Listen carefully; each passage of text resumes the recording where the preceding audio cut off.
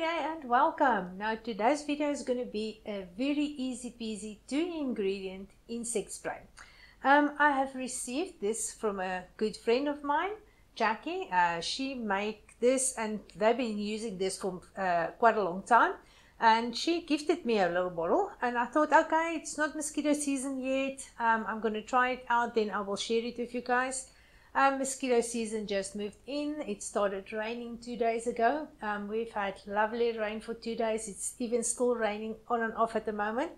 And I must say the mosquitoes somewhere along the line popped all out. Um, interesting thing, I did some research on mosquitoes and um, there are a lot of essential oils that is actually much more effective than citronella oil. Now citronella oil is the one that we all know. I do not really care for the smell. I'm not crazy about it but it's not that bad. Um, I prefer citronella oil smell over being bitten by mosquitoes. But um, the, the research, the interesting part of the research is that um, different mosquitoes are reacting differently to different essential, oils. So what will work for one breed of mosquito is not going to work for another one. So I am busy working at a formulation with various different kinds of essential oils that I'm going to put together um, and test it out and so on. And give or take, I don't think I'm going to make it within this season to market it, but it might just hit the markets in time for the next mosquito season because I like to over test and keep on fiddling with stuff. But okay, let's just jump right into this. Let me show you how easily you can make a mosquito deterrent um, spray that is cheap and effective and it does really work quite well. And yeah only two ingredients. How much maybe you can get. Okay the only two ingredients you're going to need is going to be some vodka. Um, this one that I've got here is a 43% alcohol so um, I'm not sure what is available where you are. And then whole cloves. Cloves or gloves. Um, I think it's cloves uh, depending on where you are in the world. So the lovely clove seeds that we like to use in our cooking and so on as well. That is all that you're going to need. So then you're going to need not the ingredients, a jar. We're going to take a jar. What you're going to do is you are going to fill the jar to a point. Okay, let's line it up to there. I don't think the men is going to think this is a cheap way to make a, a, mosquito repellent. Although, you know what, this is about 120 rand where I live. Mosquito repellent, small little one, already basically at the same price and then it's not really that effective either. So, there we go. Okay, so this is about a cup full of vodka and then you are going to use one table okay this tablespoon is too big and about a tablespoon 15 milliliter of cloves that you are just to add to it you're to close it up and you're to shake it shake it. and it will start to absorb and then you're to put it down somewhere where it is nice and dark and warm. And then after a while you're going to end up with a very dark liquid like this. Um, so this one has been standing about for three months now. No it's not three months. It's about a month and a half.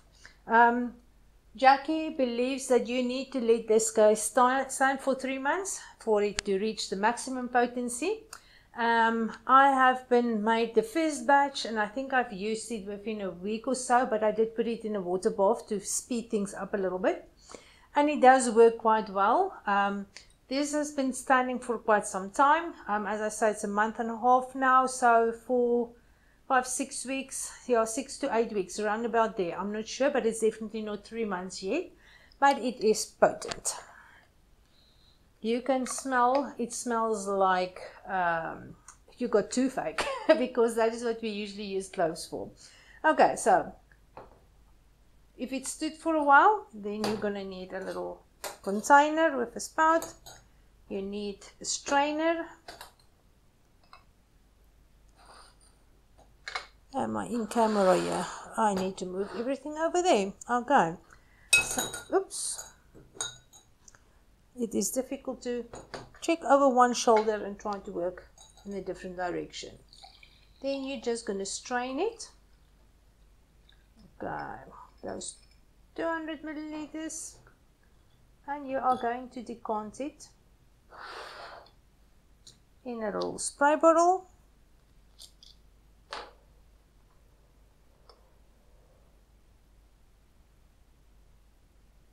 if you want to make this even more potent apparently vanilla um, also deters insects. So you can maybe add a little bit of vanilla in here as well and vanilla does smell nice.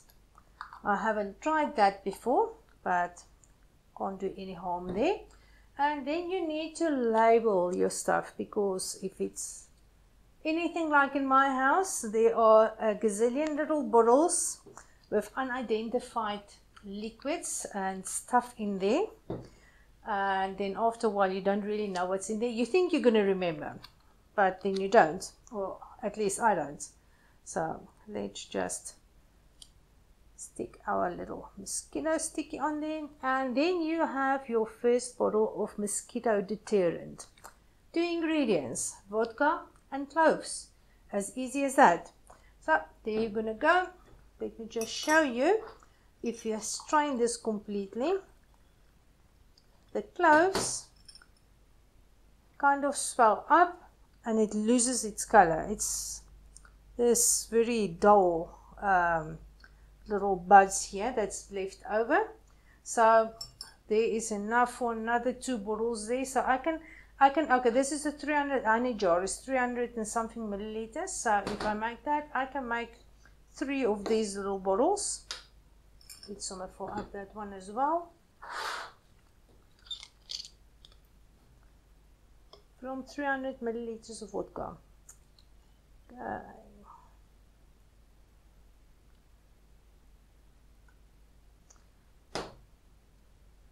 Okay, as I say, I don't think this is something that you will market um, and sell, but it is a very nice DIY uh, project to do at home, easy and quick.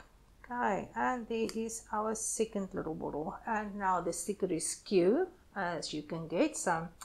This is to bug me like the mosquitoes but I'll fix it later on.